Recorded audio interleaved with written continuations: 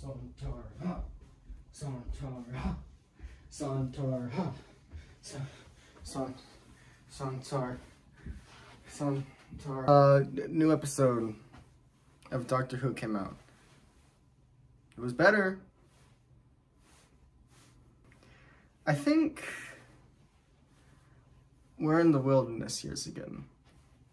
I think I think we've been in the wilderness years since like 2016 maybe. I've come to, I came to this conclusion a few weeks ago. Actually, before series 13 started airing, but it's sort of been turning over my head a little bit.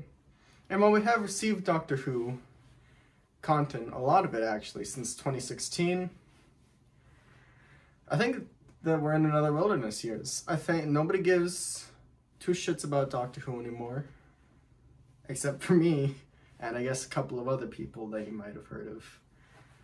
Nobody really talks about it anymore, and we're just kind of like our own little circle of the internet, going around and round and round like time, bickering over some wacky alien character and why the 10th version of him is the worst one. Uh, back on track, more of the Sontarans.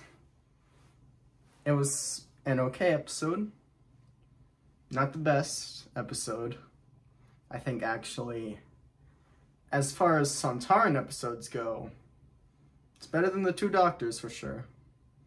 It's better than Stan, Stan, Staturum Stratagem. It's better than the Invasion of Time. Actually, I think it's just a little better than Invasion of Time. It's sort of the same tier of Invasion of Time. Invasion of Time's like the bottom of D tier, and maybe like War of the Sontarans is bottom of C tier. They're they're close and they're in proximity of each other. I should update the the tier list after series 13 is over. Would you guys like to see that? Comment below if you want to see me update my tier list. Anyway, episode begins in the monster house place. Doctor wakes up in a place, it's black and white, she sees a monster house. Um, only bringing this up because a lot of people are drawing comparisons between this episode and the two doctors, oddly enough, because they both start with a black and white scene. I think this episode is very similar to the War Games, which makes this episode even worse in comparison to the War Games, because of how every single part of the War Games is actually a masterpiece. But you got an alien race who likes fighting. They do their fisticuffs, they rough them up, and they're testing their fighting on the humans and their history. Just a little comparison I noticed there. It's kind of like how Orphan 55 reminded me of The Mysterious Planet. You know, Orphan 55 last season, everyone's favorite episode, that where there was revealed that they were on Earth the whole time. That happened in the 80s already. And an uh, almost equally bad story, to be fair. We get another point of convenience as the TARDIS crew gets flung to the exact time period that the Sontarans happen to be testing their strategy.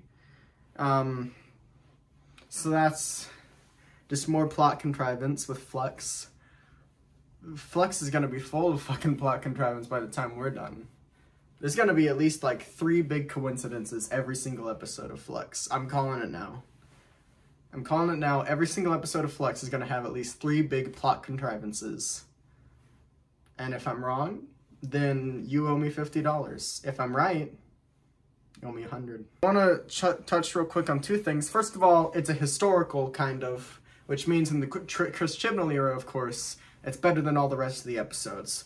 War of the Sontarans, no doubt in my mind, this is going to be looked back on as the best episode of the season because it's a historical. Actually, I think the Weeping Angels episode is also going to be historical, but I actually don't like the Weeping Angels, so I'm just going to say that this one's better before he's seeing that. Like a good circle jerk. Sontarans in this, like I touched on last time, the Sontarans in this episode, best they've ever looked ever. the best Sontaran design we've ever had. It's like the classic design, new. Uh, like, like if the episode The Time Warrior, which is the first episode the Sontarans appeared in, if that episode was made today, I would expect Lynx to look like the Sontarans look in this episode. That is how you do a monster redesign correctly. You don't slap them in blue Power Ranger armor, and you don't make them weird steampunk fly things. Although, to be honest, the Russell T Davies Daleks, they do look pretty good. So, we meet Mary Seacole, who is a person that doesn't get a lot of attention in history. I didn't know who she was before this episode. This episode taught me something. All of the Chris Chibnall historicals are really good with how they deal with guest uh, celebrity uh, historical people. Except for The Haunting of Villa Diodati. That was... Ooh, that, that one... I don't really like how they implied that as if you have writing skills, you're better than everyone else. Even though I do have writing skills, even though writing is literally the one thing I'm good at, I don't like it being implied that I'm better than other people just because of that. Because I'm not. Uh, um, we get to see Vinder again. That's cool. I thought he might have been dropped, honestly, but I'm glad he wasn't. I'm glad he remains a character present in the plot. And later on, we get Yaz and him trying to figure out what's happening in this Temple of Atropos area. And I really like the dynamic they have. It's really cool, in my opinion. Dan and Yaz are going away by time shortly after meeting Mary Seacole. And the doctor learns that Sontarans have infested Earth history. And they've replaced Russia and China.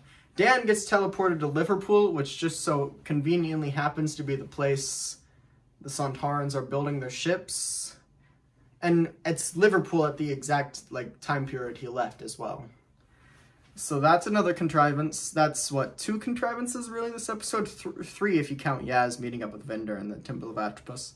Which I kind of do because, I mean, it kind of makes sense that just Yaz would meet this random person that she's never met before in this weird temporal displacement thing but it doesn't make sense that she just happens to be conveniently teleported to the one location Swarm needs in the entire universe.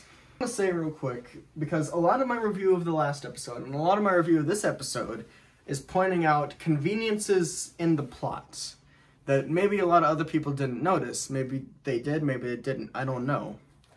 But I want to explain real quick that I don't think convenience in a story is a bad thing in and of itself. Sometimes stories need a little convenience to just get going. You know, that's how the main characters meet, that's how the plot gets going. You know, we're watching the story because the main characters just happen to be the ones that are involved with it, and that's why we're watching them. But a story can easily become really bad if it relies on convenience, and so far, Flux relies upon stacks and stacks of convenience. It's like The Force Awakens. The Force Awakens, ooh, that movie, you may think it's a little, it's obviously the best of the sequels, but you may think it's good on the first watch, and the second and third one maybe. On the fourth one, you begin to realize, if you hadn't already, that there's a lot of convenience in that plot, with just the way things stack up. And that's exactly what's happening here. I feel like a lot of people aren't going to realize the first couple of watches of Flux, but after they go back through and really start analyzing it, they're going to be like, that's a lot of things just kind of went right there for our heroes. That that's a little wacky. And maybe it will be explained later. Maybe maybe the fucking White Guardian's gonna come out of nowhere and he's gonna say, Hey doctor, uh, they had to retire my character ever since the 80s because they figured that bringing me and my counterpart, the Black Guardian, back might inadvertently uh, like support racist ideologies but now I'm back, and I just want to tell you that I've been doing this for you. I've been causing all these conveniences for you so that you could win against Swarm and his sister.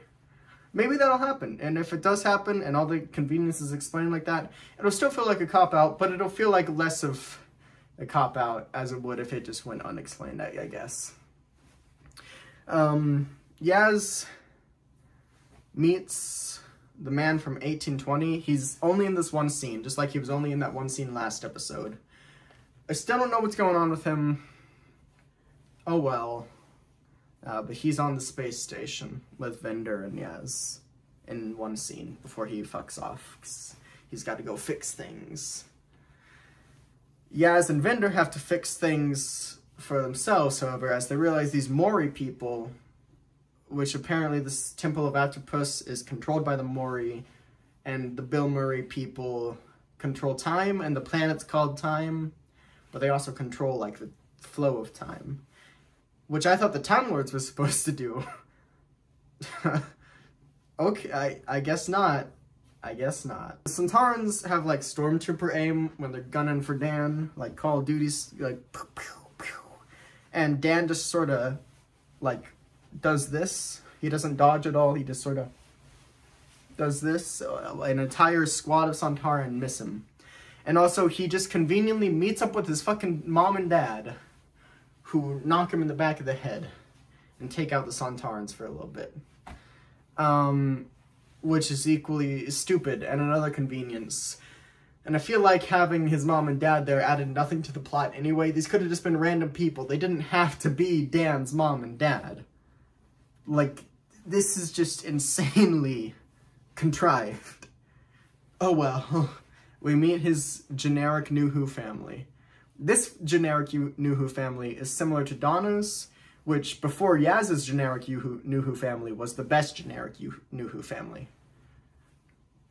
But it's still stupid. Uh, Yaz has this message written on her hands, which has never been seen before, and therefore is equally unimpressive when we get its payoff.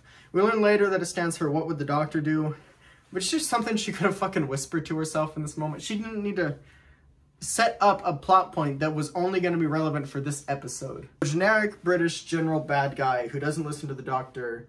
He's generic, yeah, but his character didn't really need to reinvent the wheel, I felt. He's serviceable in his role, even though he's kind of predictable. We learn the scene of the Sontarans spreading through history. This is where we learned that they replaced Russia and China. We also learned later on that they wanted to do this because they were following up on Lynx's claim to the planet, which was originally staked in the Time Warrior, which is so in character for the Sontarans. This Their motivation in this episode makes so much sense. I actually do love it. Chibnall really did the Sontarans correctly. Uh, Seacole reveals to the doctor that she is currently caring for a wounded Sontaran soldier, which is uh, something she actually did for Russian soldiers as well historically, and the doctor points that out. So that's cool. The scene later, uh, scene sets up that uh, Sontarans need a short rest period every 27 hours, which you find out is not only a biological process, but it's also something that they need to refuel their suits so they can live in Earth's atmosphere outside their ships. And this refueling process is done on the ships themselves. So how is this Sontaran still alive if he needs to refuel his suit? Because he's got no way of refueling his suit. This does, never gets explained it's never explained how he lives at all. I it's uh, uh, this wounded guy, Sontaran guy, is played for laughs, but I think it's excusable because he does get executed uh, later on by the Sontaran general, which really you know shows that they aren't to, a force to be reckoned with. Anyway, the doctor tricks the Sontaran into thinking that she has information about the doctor's location. You know, she refers to herself in the third person to sort of trick him and the Sontaran, uh, she gets him to report back to his base after letting him go. And he leads the Doctor and Mary on the to the Sartaran base. Sartaran? Sontaran. Doctor is well aware that she's sending him to his death, I'd like to point out. But I actually don't mind this as much as other people might. I'm always fine with the Doctor kind of tricking people into their own deaths or otherwise killing people. I'm so fine with that. Actually, like, I I Seven is one of my favorite doctors. He did that shit all the time. Uh, three, my favorite doctor of all time, has a clip where he infamously guns down Ogrons in Day of the Daleks. That's I I support that. I I think the doctor totally would kill things.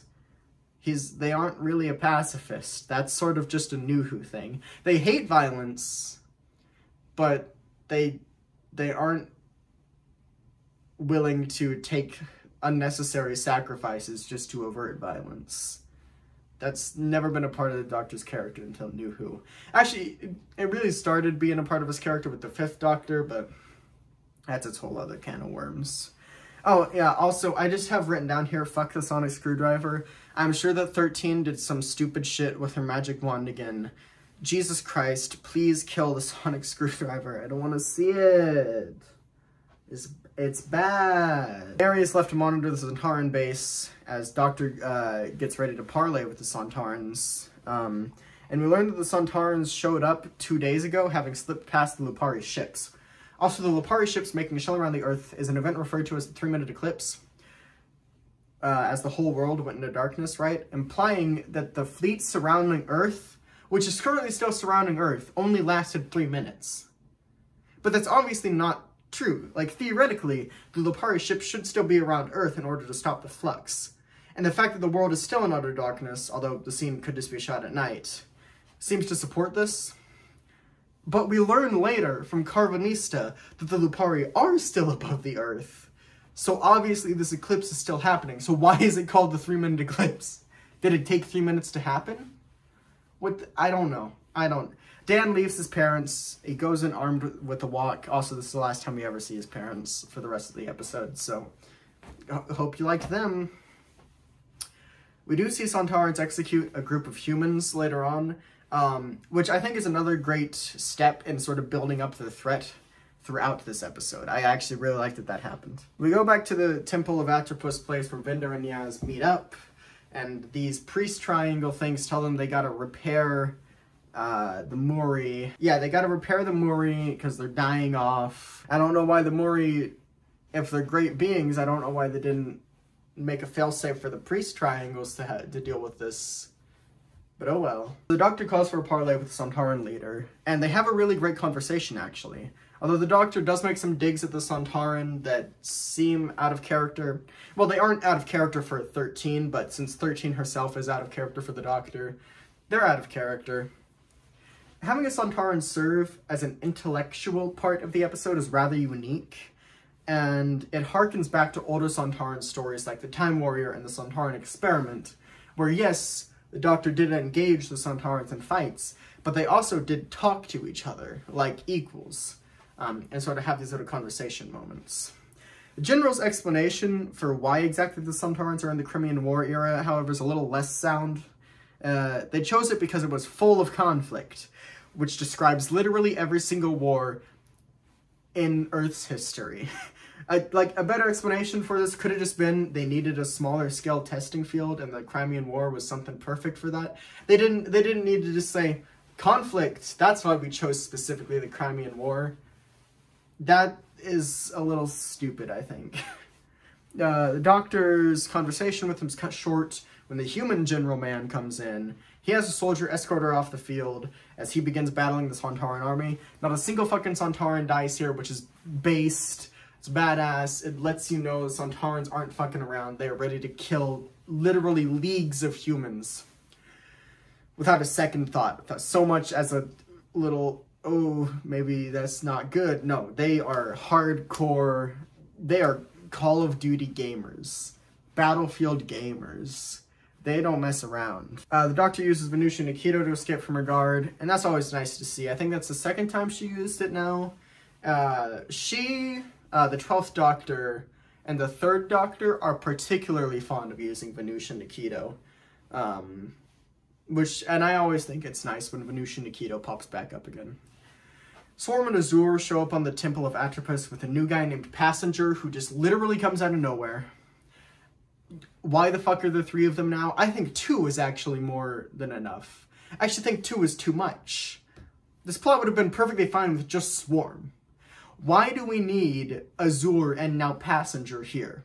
Maybe it will be explained later on, but I guarantee you whatever explanation Chibnall comes up with for having three villains instead of just Swarm is something that he could have easily written into Swarm's character anyway. He could have just had it to where Swarm was the sole bad guy and it wouldn't have changed much. Because he's the head fucking writer of this thing. So yeah, even if Azure and Passenger are explained later on and they're given a full purpose later on, that doesn't excuse the fact that them being there takes away from having a central antagonist of Flux.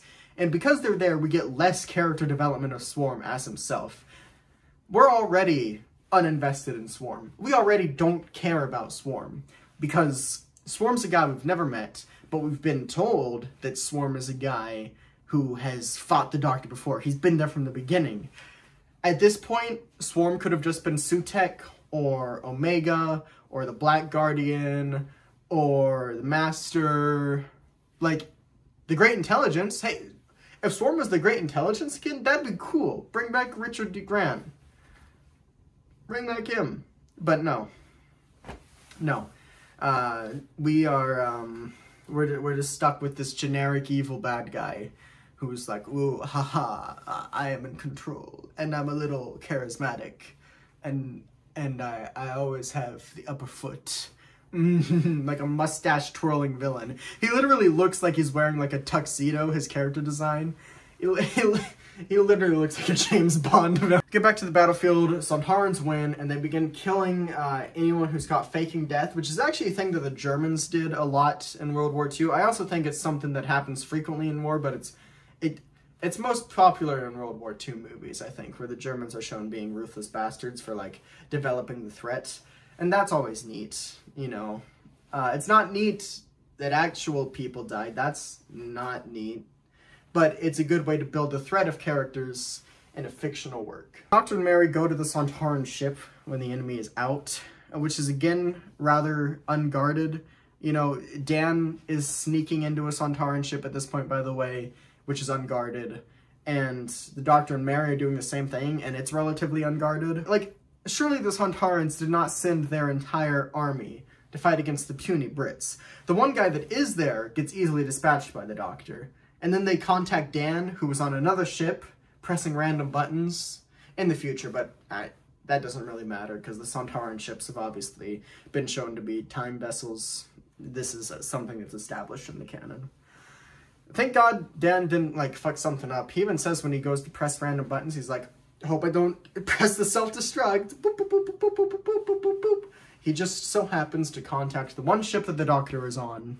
And they start talking. The doctor uses her magic wand to access all of Dan's uh, phone data, despite the fact that he is on the other side of the screen and across time. Anyway, she downloads Dan's little vlog from his phone. And um, this is how she learns about the Santaran plan. The two are cut off by Santarans, however, and Dan uses the good old um, over-your-shoulder trick by the Santaran that goes for him, and it works. So all of that threat that the Santarans built up throughout the episode is gone. It's no longer here. Um, then a group of Sontarans comes in, and they start arresting Dan.